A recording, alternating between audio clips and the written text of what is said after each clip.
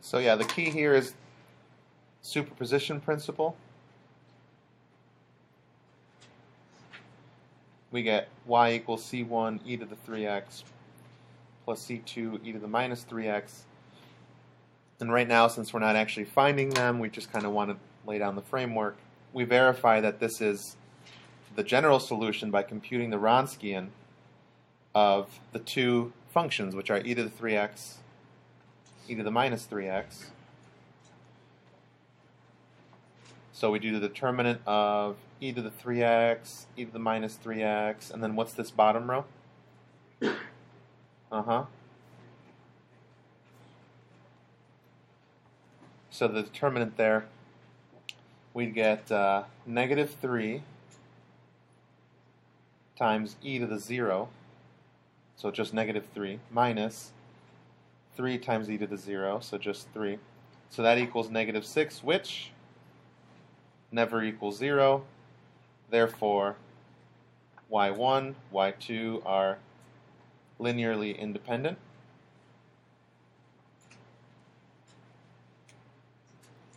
And form a fundamental set.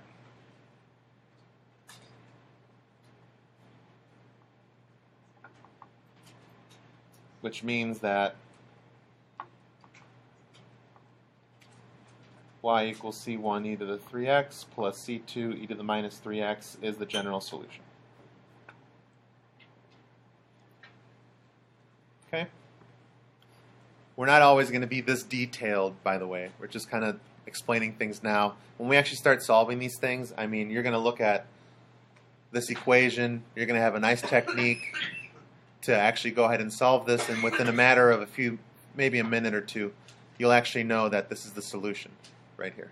And we're already going to know that all the conditions are met. Yes? Then we have we don't have a linearly independent set. So even though good question. So even though these might be solutions to the Diffie Q, and even though when you use superposition principle, this would be a solution, it's not the general one. It would just be another one that also happens to work. Okay? All right. Moving on to the last equation, star 2. So now for non-homogeneous linear differential equations.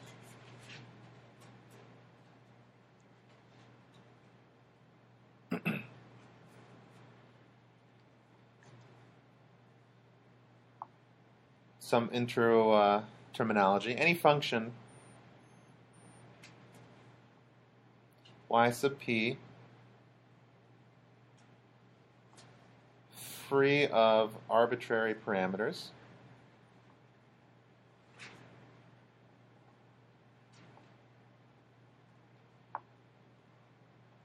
is called a particular solution.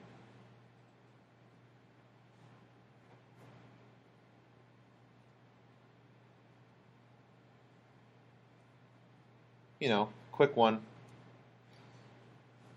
If we have y double prime plus 9y equals 27. Anyone see a quick particular solution here?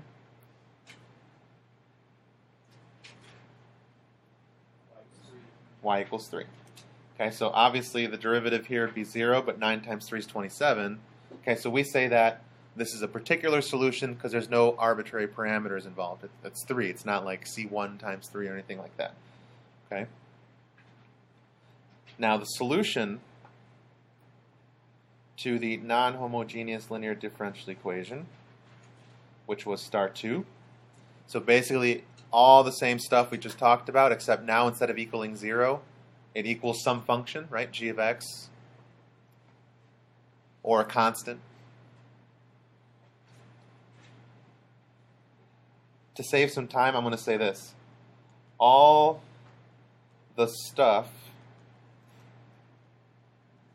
we just talked about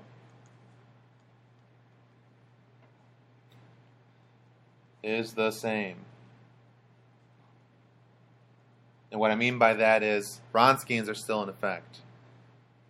linearly independent stuff is still in effect. Superposition principle is still in effect. Okay, the only the only difference here, the only difference is this. Is that the general solution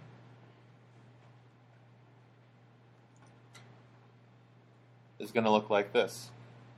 y equals c1y1 plus c2y2 and so on down to whatever order we have plus the particular solution to the non-homogeneous linear differential equation.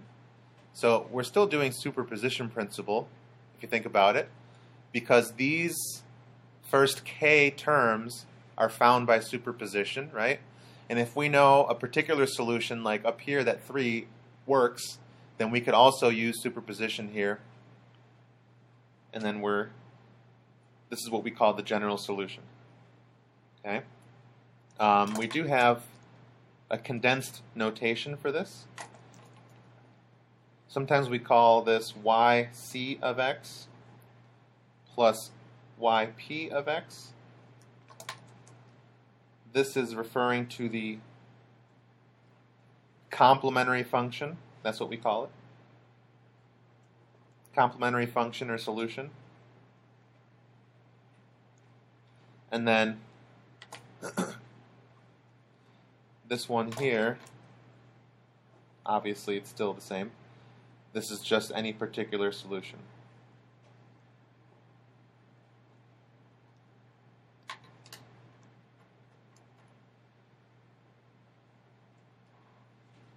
Okay, so the general solution, as long as all those conditions that we just talked about are met, is exactly this.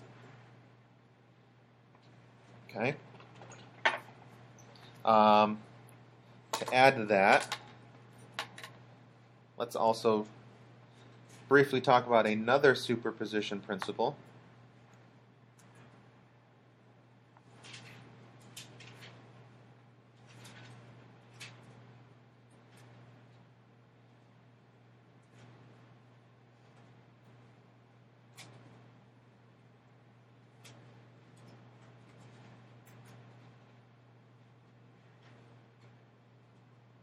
Okay. If yp1, yp2, and so on, y, whoops, ypk are k particular solutions corresponding to g1 of x, g2 of x, g sub k of x.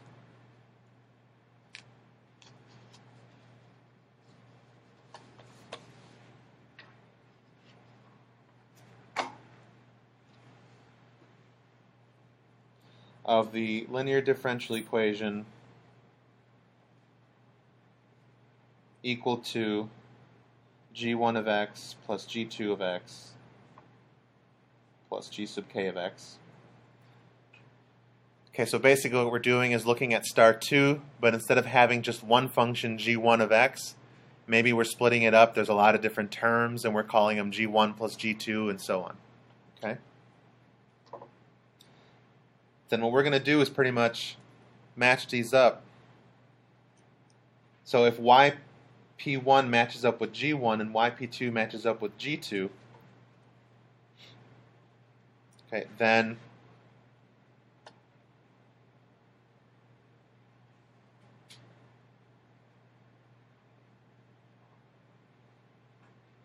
Yp equals yp1 of x plus yp2 of x, and so on,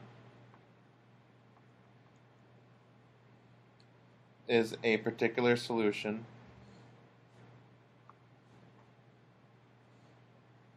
to the equation. So I mean, I think with a quick example we can clear this up.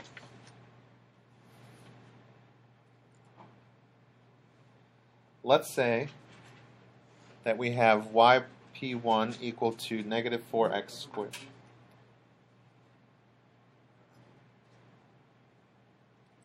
Uh, yp2 equal to e to the 2x and yp3 equal to x e to the x. Let's say these are particular solutions to three differential equations y double prime minus 3y prime plus 4y equals negative 16x squared plus 24x minus 8. And we have the same diffie q on the left with some other functions.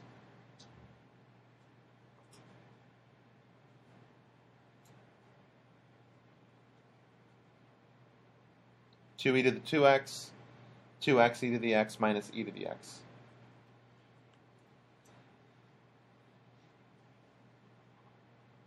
Okay, so all I'm saying is YP1, it's a particular solution that works for this first one. YP2, particular solution that works for the second one. And then YP3 is a particular solution that works for this third one. Okay?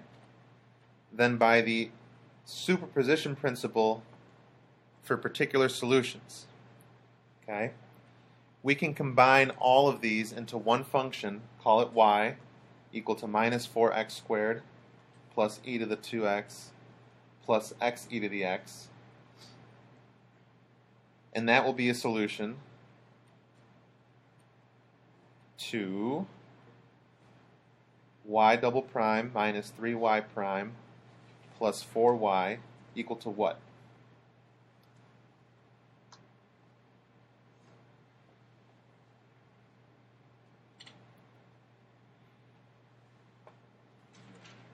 What's that?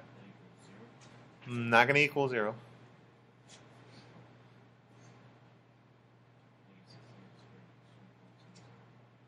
And add them all up, yeah. So if all three of these work for each of these differential equations, since we have the same function on the left-hand side, if I add all three of these functions up,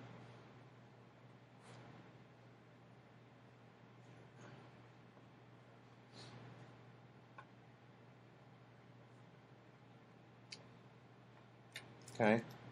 So this part, this part, and this part, this was satisfied by YP1, this was satisfied by one YP2, this was satisfied by YP3. And then we could just combine all those three particular solutions. So then here we have, um, you know what, I should probably use this notation. Y sub P Okay? And that's pretty much it. Okay? Um,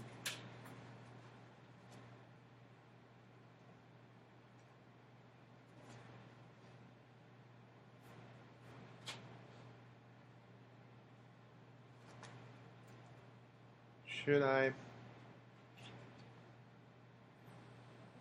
Okay, so I mean, I don't have to write all this stuff down, but in general, when we start working with these differential equations and we start applying these to some actual applications um, in physics or some other real life scenarios, these differential equations, okay, this represents some kind of input function for some system that we have.